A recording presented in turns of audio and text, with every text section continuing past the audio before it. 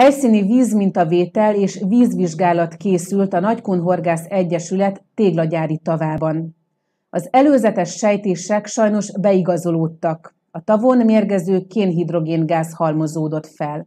A kénhidrogén nagyon erős méreg, kis mennyiségnél 0,0 százalék 0,1 mg per liter is komoly károk keletkezhetnek a halálományban. Elsősorban a légzőközpontot bénítja hosszabb belégzést követően. A kénhidrogén nem csak a mérgező tulajdonságával jelent veszélyt, hanem azért is, mert csökkenti a tóvíz oldott oxigén koncentrációját.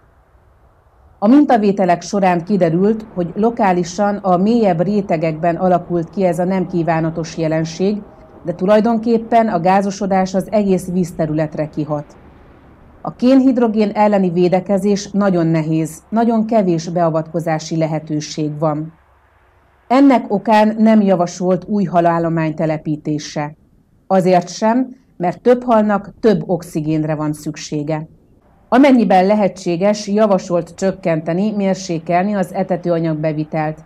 A takarmány emésztéséhez is nagyon sok oxigén szükséges, de ettől az esetlegesen megfogott hal fogyasztható, amennyiben a horgászkészséggel lett megfogva, áll a Horgász Egyesület televíziónkhoz eljuttatott közleményében.